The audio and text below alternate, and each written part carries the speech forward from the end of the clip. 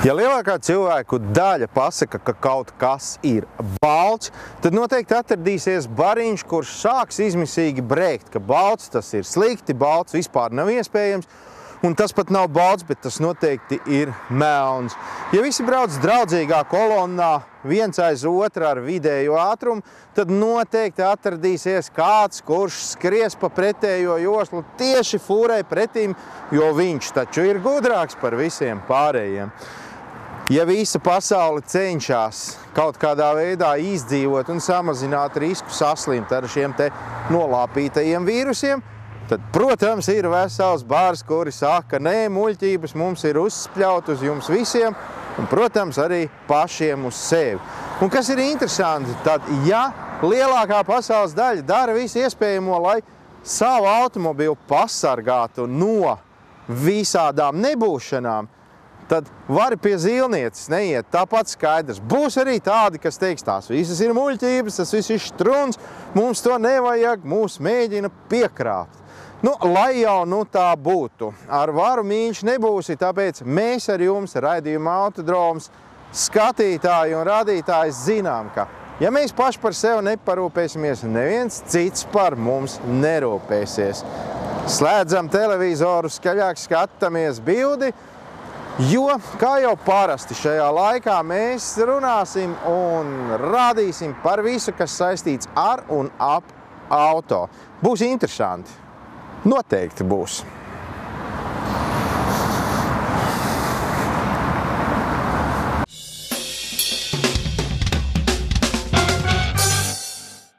Citi, tajā skaitā pats ražotājs, saka, ka šis ir jaunais Citroen C3.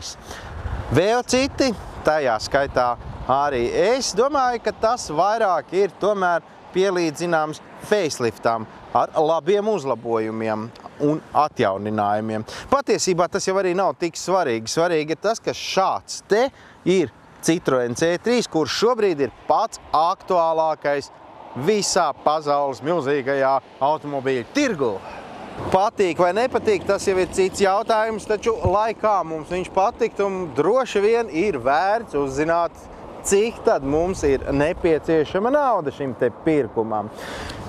Sākās Citroen C3 vērtība no 12 999 eiro, nu tā tad nopaļojot no 13 tūkstošiem. Tas ir ar švakāko, jeb jeb mazāko dzinēju, lai gan, nu, kā mēs saprotam, dzinējs ir tas pats, zirgspēks ir mazliet mazāki. Nu, jā, tad, tad šis te konkrēti, kuru varam uzskatīt par vienu no, ja ne pašu pilnīgāko komplektāciju, tad jau kaut kur plus mīnus 14,5 līdz pat visiem 15.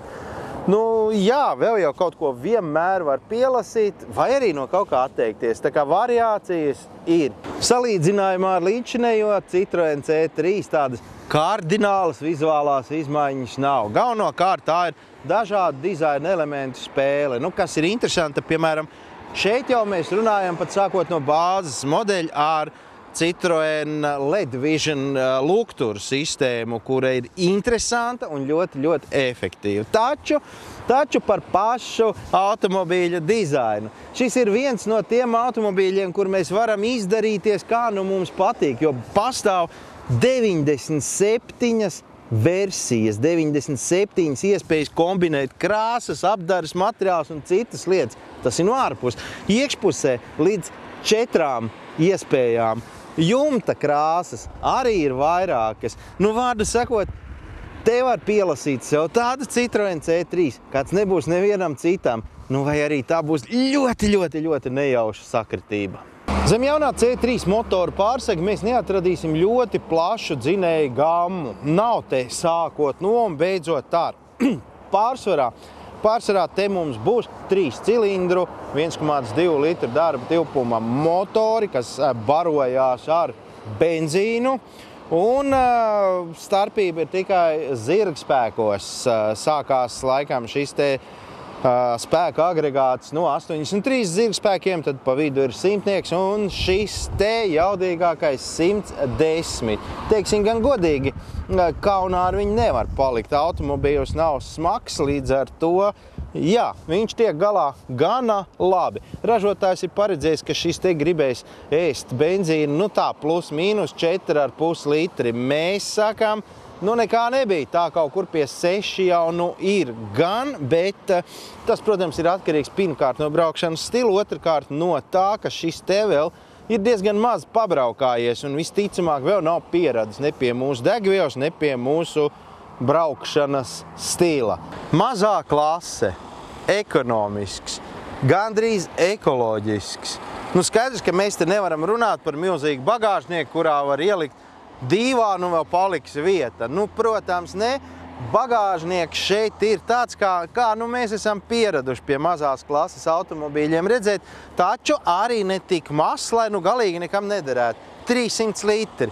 Ja jūs spējat iedomāties 200 litrīgo mūcu, tad vēl klāt 100 litru un to visu var dabūt šeit iekšā. Tas nepavisam nav maz, nu un, protams, kā jau visos automobīļos, vēl var variēt ar aizmugurējām atzveltnēm. Vārdu sakot, te, te var braukt, kur vien gribās, jo, nu, kaut kādas maiņas, apģērbus un appaus līdzi paņemt noteikti, ka var. Salona iekārtojums līdzīgi arī ārpus vizuālajam tēlam ir pirmkārt moderns, otrkārt ērts un treškārt mazliet saudabīgs. Jā, nu, tas nav tāds, kā mēs esam pieraduši, kurā katrā mazās klases automobilī viņš ir ar savu tādu māksliniecisku pieeju tajā pat laikā. Jā, tā ir iespēja braukt savādākā automobīlī. Labā lieta ir tā, ka šeit ir nākuši klāt tāda lieta kā elkoņu balsts jau bāzes izpildījumā, kas ir, kas ir ērti, protams, auto vadītājiem. Tad ir interesants risinājums automātiskai pārnesuma kārbai, kur nav uzrakstu nekādu, bet ir priekšā uh, schēma, kā slēdzās pārnesums. Nu, protams, to var redzēt arī monitorā. Skārienjūtīgais ekrāns, viss pārējais, kā jau jebkurā automobīlī. Un šīs te neaizmirstami foršās kofera Ručkas. jā, jā, roka tur ir interesanti, bet nevarētu teikt, ka tie nav vērti.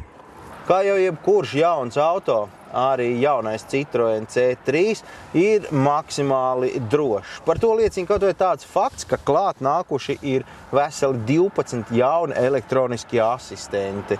Nu, vairāk, protams, informācijas par visām tehniskām lietām, kā mēs saprotam, varam izlasīt ražotāji vai pārdevēji mājaslapās uzskaitīt to visu. Nav īpaši liels šobrīd jēgas.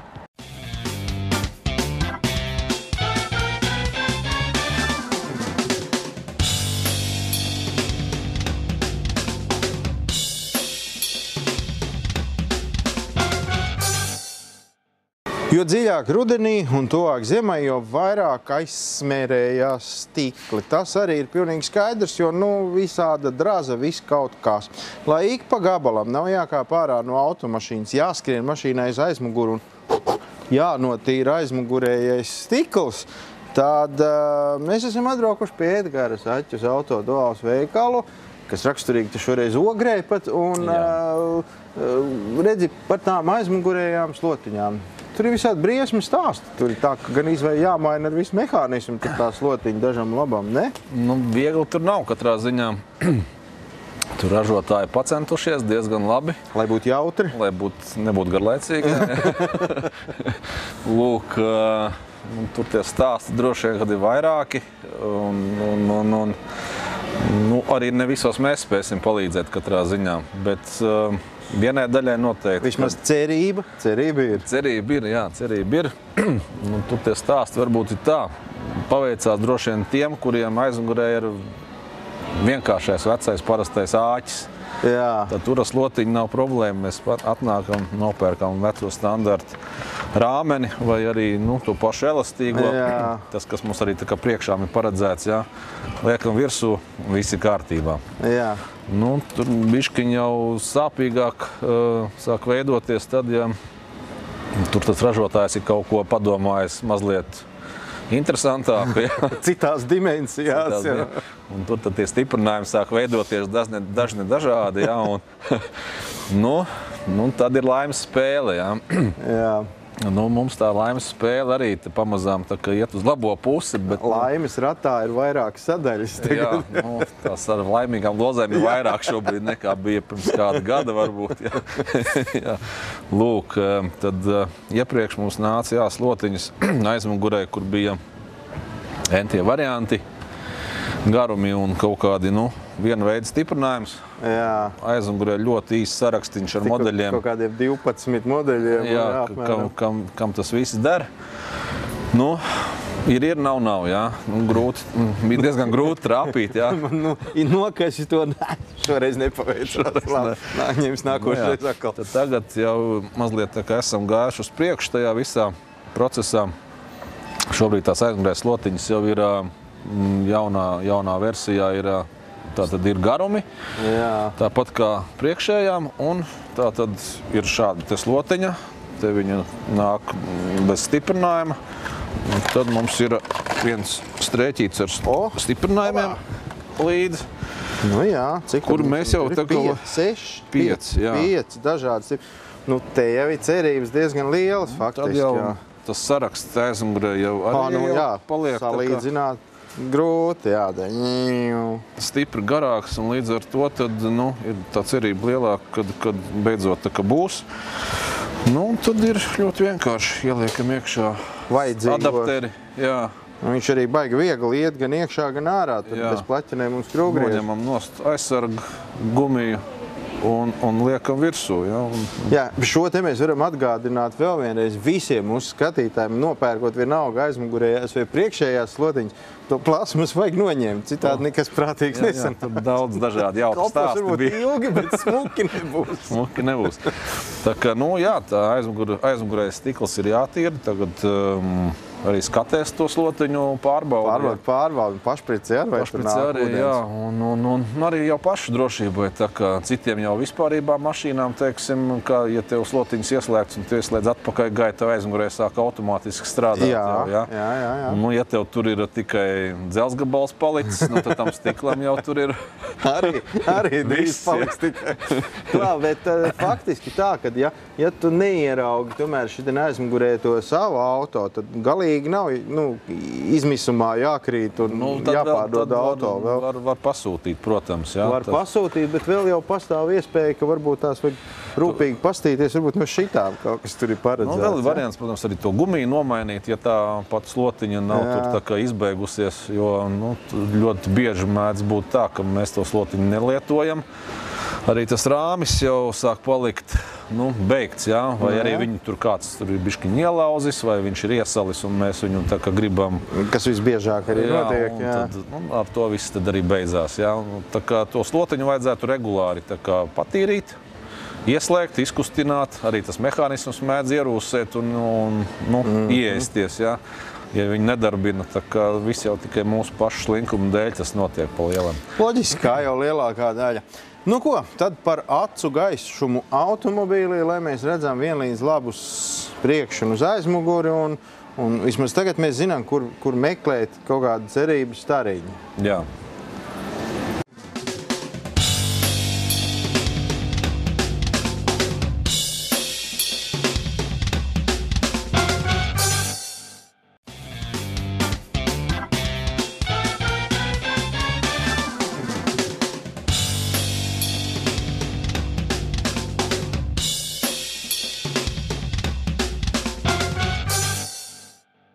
Mēs esam atkal Rumbulā.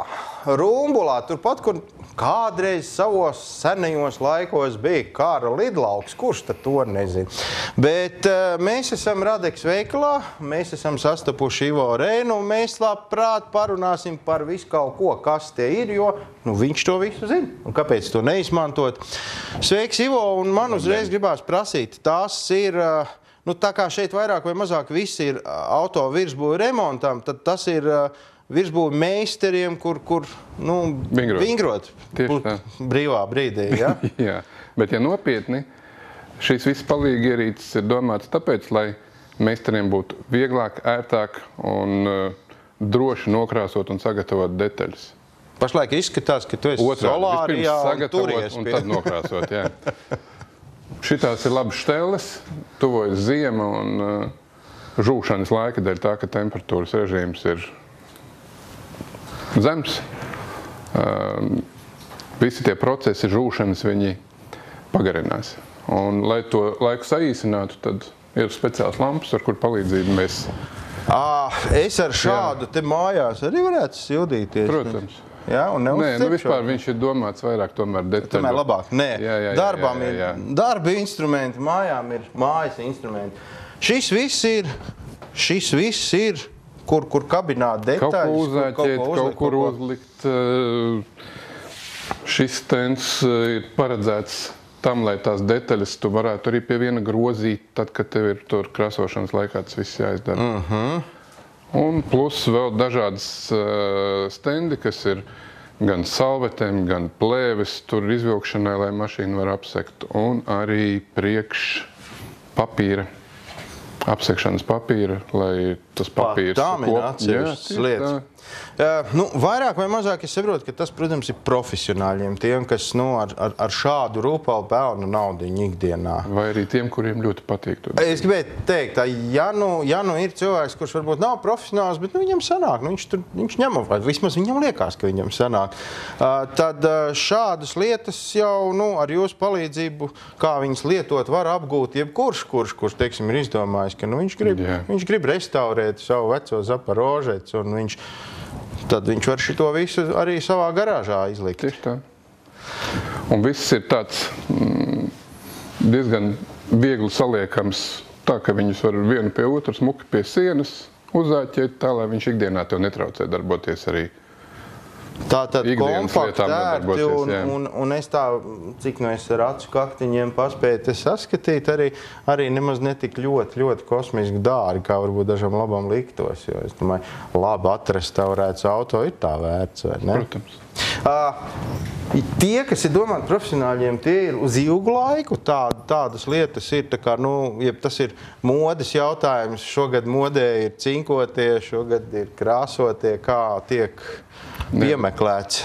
Visi, kas draudzējas ar veselo saprātu, viņiem kalpos ilgi. Izvēlēsies pareizo un, un lietos tā, kā tam ir jābūt. Tieši tā. Tad vēl ir mazs jautājums, kur to visu var atrast. Es jau aizmirsu, es, es tik bieži braucu pie tevis ciemos, ka es jau sāku aizmirst, kur tas ir. Es tā automātiski vienkārši piebraucu. Un... Viss turpat Maskavas ielā 449 Rīgā. Laipni lūgti. Jā, pretīm tai vietai, kur smagie iziet tehnisko apskati. Otrais stāvs. Otrais stāvs pa kāpnītēm. Jā. No augšas vienmēr viss ir labāk redzams.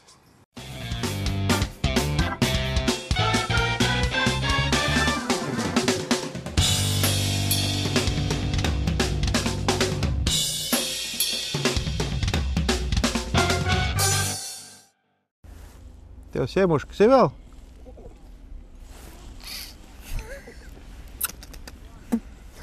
Ko gan divi čaļi varētu darīt citu, kā negraus siemuškas, sēžot uz soliņa pie dzeltenas sienas Un ar mašīnu atbrauc. un atbraukuši ar mašīnu. Nu, jā, nu, vēl jau vairāk, ka jums jau ir skaidrs, dzeltenas siena tas nozīmē krona pretrūras apstrādes centrs. Un arī Raivis augsnes ir tieši šī te, šīs te uzņēmuma ģenerāldirektors.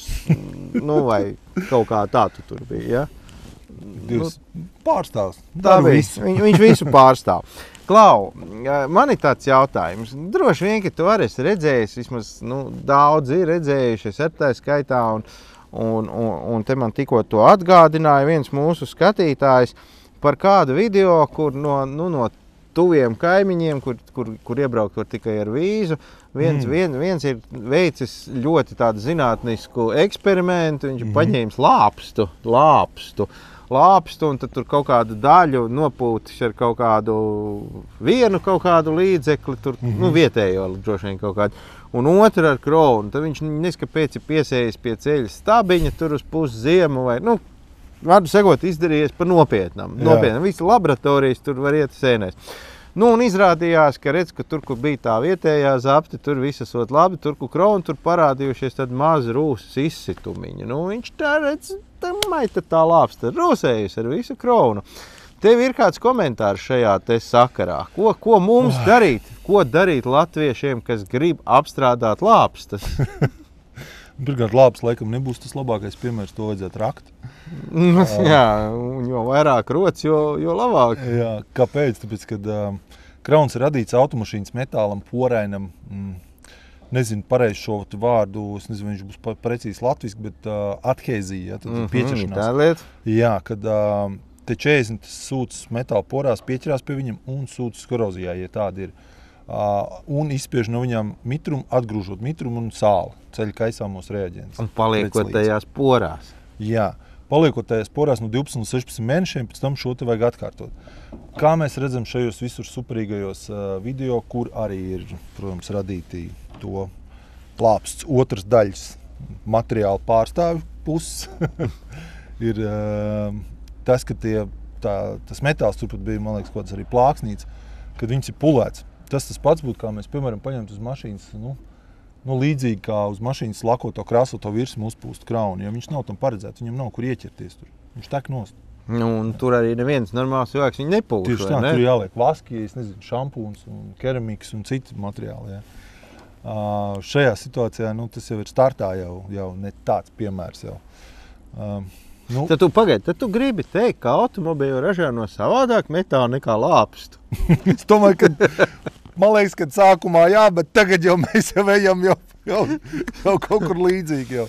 Jā, nu labi, nē, nu, lai tās lāpstas paliek. Tātad šis eksperiments, godīgi sakot, mums neparāda neko. Lāpsti ir lāpsti. Nu, tātad mūšas atsevišķi un Nu, Tas ir tāds atsevišķi. klasiskais stāsts, kā tā puse, kur nepieciešams vīzis, vienkārši nenormāli mani- manipulē ar informāciju. Arī mūsu sfērā. Nu, jā, tā nu, Dezinformācija precīzi tā nu tas ir. Es domāju, ka pats vienkāršākais paņēmiens, kā neskat, neklausīties to, ko kāds kaut kur stāsta, turklāt nu, paturot pusi klusībā, izstāstot tikai kaut kādu daļu no tā mm. visa.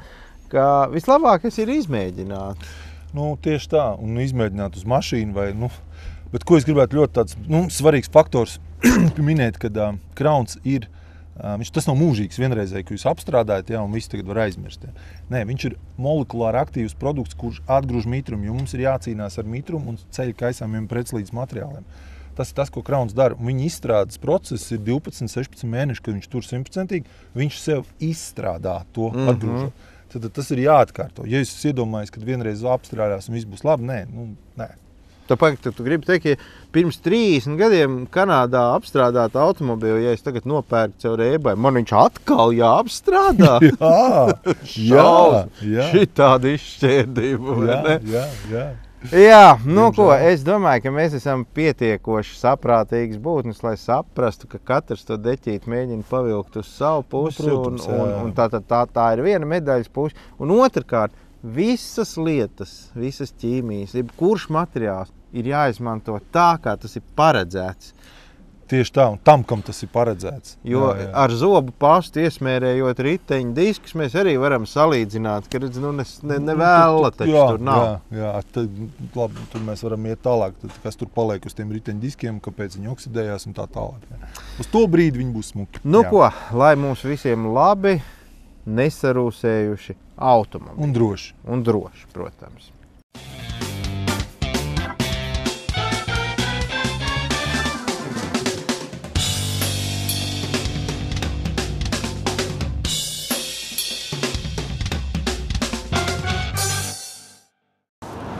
Keglīte, jā, keglīte, cik zaļas tavas lapas. Tālāk šķiet šajā dziesmā bija kaut kas par zaķīti, kas ir zem eglītes.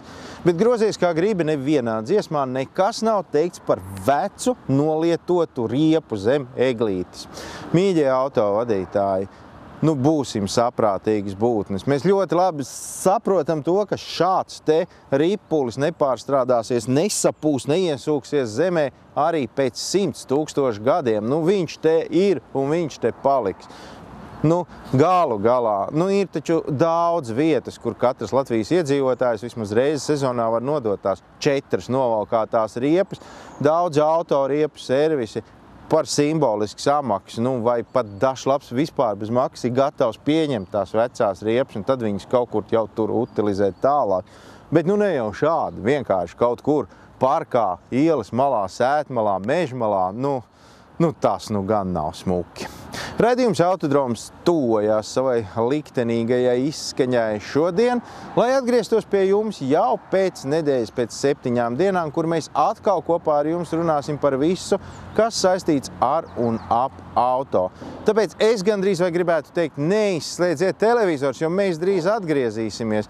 Gal galā RTV jau arī tāpat ir daudz interesanta, bet nē, Pēc nedēļas būs raidījums autodroms, un tur mēs tiksimies. Lai droša nedēļa un lai visiem, lai visiem personīgi pārbaudīšu, būtu jau ziemas riepas citādi. Nu, nu kā tā? Nu, nu nevar, nu nevar. Nu tūlīt taču būs tie sniegi un ledi. Ha tā!